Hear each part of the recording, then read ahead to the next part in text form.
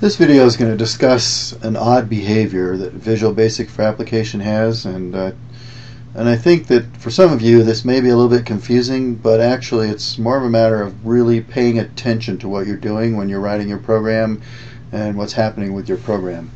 So what we're going to do is we're going to take a little bit of take a look at some code and uh, kind of puzzle over what might be happening. so my code is quite simple. It, uh, it's just going to declare two variables, a numeric variable and a string variable. So there's nothing really mysterious about that. You'll notice these two lines assign values to our two variables. We assign the number 123 to the numeric variable, and we assign the string 123 to the string variable. So nothing too mysterious there.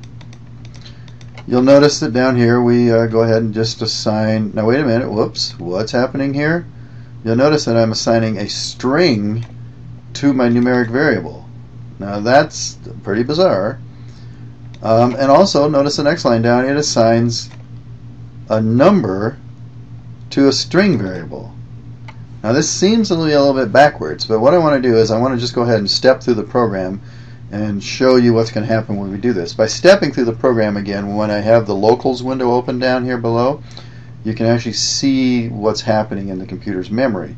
So I'll go ahead and step, and of course at the beginning of the program the numeric variable has a zero, and the string variable is an empty string. There's nothing in that string variable. So I'll step down, and I'll execute these two lines, and notice then the numeric variable has a number 123, and the string variable has a string 1, 2, 3. Notice the quotes.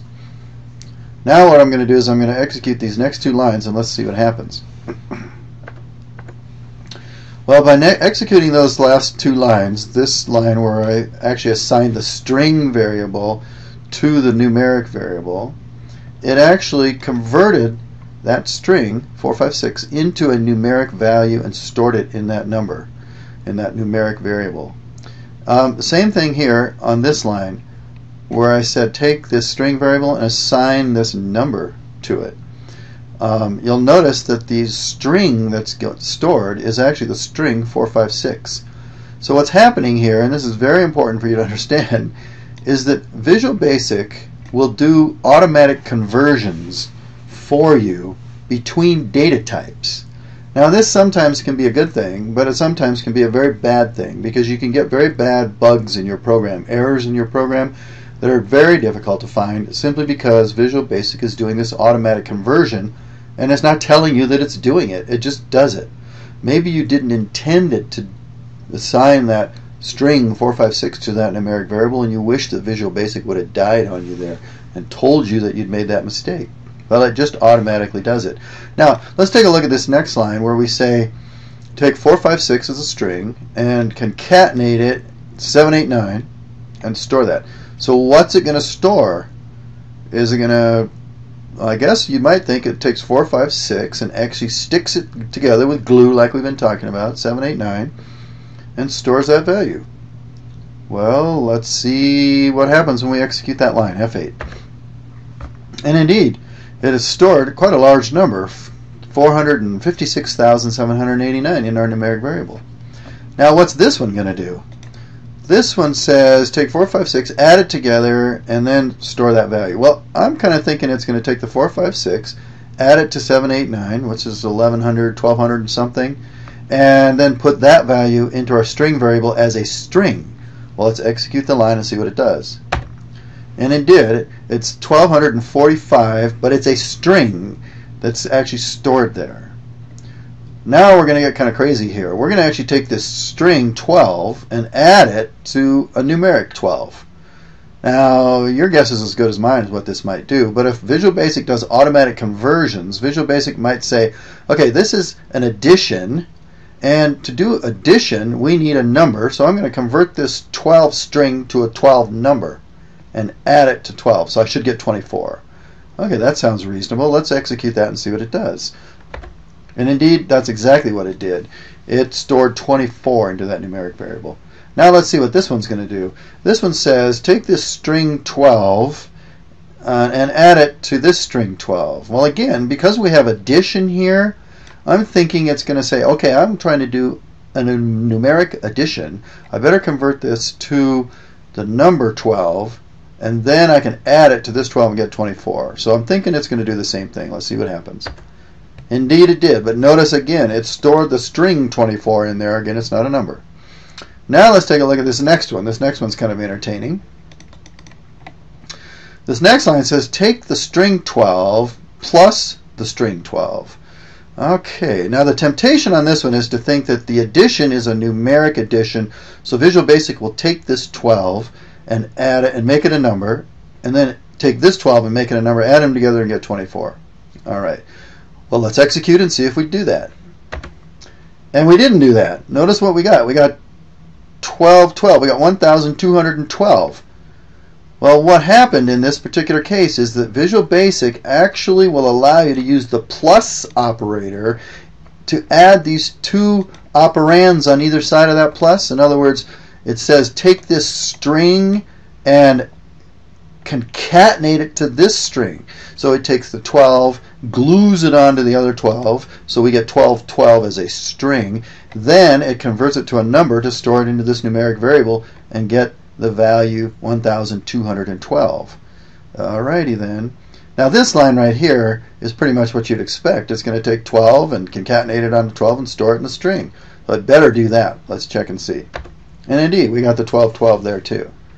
Now this next line is a little bit crazy. It says take the string 12 and add it to the string high and store it into this numeric variable. Well, what do you think it's going to do? Hmm. That's kind of tricky because this doesn't look anything like a number on the right here. High, that's not a number. Let's go ahead and execute that and see what it does. Ooh, it says we have a type mismatch. So basically what it's telling me is that I'm trying to take a number, because it converts that automatically to a number, and add it to a string. You can't add a number to a string like this. So that died. Up here it worked because we actually took a number and added it to a string that looked like a number. Here we're taking this string that looks like a number, it converts to a number, and trying to add it to something that doesn't even look like a number. So Visual Basic dies on that. So I can hit the debug and it'll pop there and say, that line's got a problem. So we can't actually execute that line of code. So let me go ahead and uh, I'll put a breakpoint here. Uh, actually, um, let's stop the program and comment this line out right here and put a breakpoint right there so we can run all the way down to that statement. So I'll hit go and it runs all the way down. And now it's saying okay we're going to take the number 12 and try to add it to high and store it in a string. Okay now hmm I don't know if that'll work or not. Let's just see what happens. We'll hit F8 type mismatch. Again it's trying to do addition with a string and it cannot do that so let's go ahead and hit the uh, end button on that one. And this time let's uh, move our breakpoint down here and put a comment on that because that line is in error. We cannot have that line in our program. So let's hit the go. Now this one is going to say take the 12 and use glue to glue it onto high. So what we're saying here is we don't want to add the 12. Even though that's a number 12, we don't want to add it using addition to high. We want to just go ahead and glue it. So the question is, is will Visual Basic take that 12 and convert it to a string and then glue it onto high? Well, let's hit F8 and see what happens. And indeed it did. And so in the string, we have 12hi in that string. So the most important thing you need to take away from this is you need to understand that Visual Basic will try to convert numbers to strings and try to convert strings to numbers as it can, but if you try to do something that it just can't do, your program's going to crash. So my basic idea, my most, you know, the kind of rule of thumb is use the correct data types for what you want to use and try not to mix them. Try not to try to add strings to numbers and get confused like that. So be very thoughtful when you're declaring your variables and be very thoughtful when you're writing your program statements that you're working with numbers or you're working with strings and you're trying not to mix them up. Thank you.